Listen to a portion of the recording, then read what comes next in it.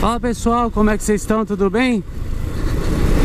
Eduardo do canal Mototrend Depois de ter passado um final de semana, um feriado inteiro de molho em casa com a gripe Eu agora estou de volta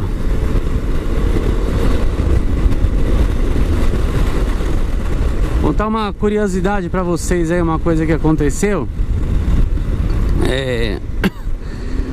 Para muitos aí, muitos que sabem, né? Eu tenho um grupo de... Na verdade o canal, tudo começou com um grupo de X-Max, né? Que é o X-Max Clube Brasil Que já tem quase dois anos Então tem Instagram, tem Facebook e tem o WhatsApp do grupo E daí, que que rolou, né? De vez em quando aparece uma galera meio louca aí Meio revoltada e acaba arrumando umas confusões no grupo, né? E, e o grupo é o seguinte, não, dificilmente tem briga. No passado tinha bastante confusão, mas aí no final acabei tomando conta sozinho. Hoje, graças a Deus, o grupo é muito bacana, não tem pau, não tem nada, enfim. E aí ontem apareceu um camarada do Rio de Janeiro. É, o dia de ontem aí, o dia que eu tô gravando esse vídeo aí, depois ó, do dia da postagem mandando foto de uma moto que foi roubada no Rio, né? E sempre que isso acontece, o que, que eu faço? Eu compartilho lá no Instagram, porque pra gente poder também ajudar, né? Não custa. Daí eu fiz uma brincadeira com o cara, falei pra ele, ah, roubaram a moto no Rio, é só buscar na comunidade que tá lá, com toda certeza. Porque se fosse em São Paulo, a moto estaria já em pedaços lá na General Osório. Rapaz, só falei isso. Não, porque é um absurdo que você não faz parte do movimento dos motociclistas, que você está sendo, é, você está tirando sarro, que você não tem respeito pelas pessoas, que onde já se viu falar isso.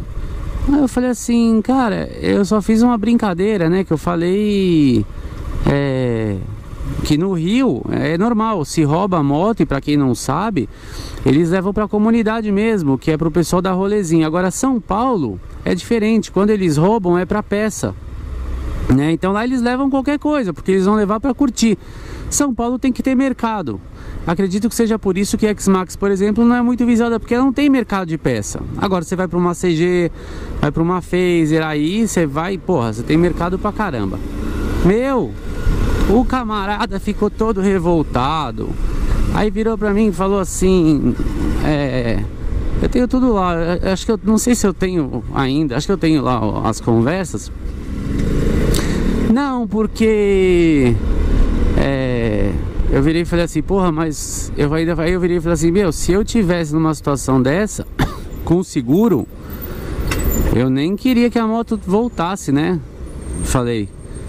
É, mas o dia que acontecer com você vai ser um esculacho com a arma na sua cara. Bom, resumindo, tirei o cara fora do grupo. O cara, revoltado, entrou no Instagram. Começou a comentar um monte de merda, um monte de coisa. Aí eu fui, apaguei os comentários, tirei o cara também. Aí chamou um outro administrador do grupo, que é um, um amigo meu, Adriano, que me ajuda. Falou um monte de groselha. Aí procurou o grupo X-Max do Rio de Janeiro para falar de mim. Começou a procurar um monte de, de, de pessoas e o caramba. Gente, o mundo tá ficando louco. As pessoas elas enlouqueceram. Eu não sei se é em função de política, em que tudo nessa vida hoje é polarizado.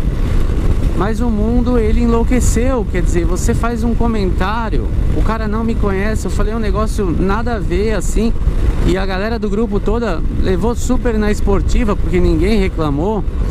Inclusive tem dois cariocas do grupo que eu brinco, que eu falo que são os dois cariocas gente boa do grupo, né? Que eles fazem do programa do grupo de cotas. Porque eu já tinha tido um problema no passado também com outro cara do Rio. Pelo amor de Deus, tô brincando aí, pessoal do Rio, tá? É, entra lá no grupo que vocês vão ver que o negócio é, é bacana. Mas puta que pariu. Então assim, hoje em dia a gente não, pode falar nada. Que o cara ele interpreta o que você falou do jeito dele, ele toma isso como verdade, aí ele fica cego e ele não consegue mais raciocinar e ele acaba perdendo a razão. Então foi um negócio assim que agitou o grupo. No final a galera toda deu risada, né? O pessoal dá risada, pô, porque não, não tem que levar isso a sério. Mas eu vou dizer, meu, Hoje eu acho que uma das profissões mais em altas aí deve ser a psicologia, porque o que tem de gente precisando fazer terapia é um absurdo.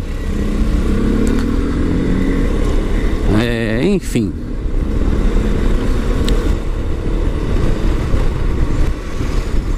Mas é isso, era um recado que eu queria dar para vocês, contar a história. Sempre que tiver algumas particularidades, algumas curiosidades, eu vou eu venho para cá, faço um vídeo e conto para vocês.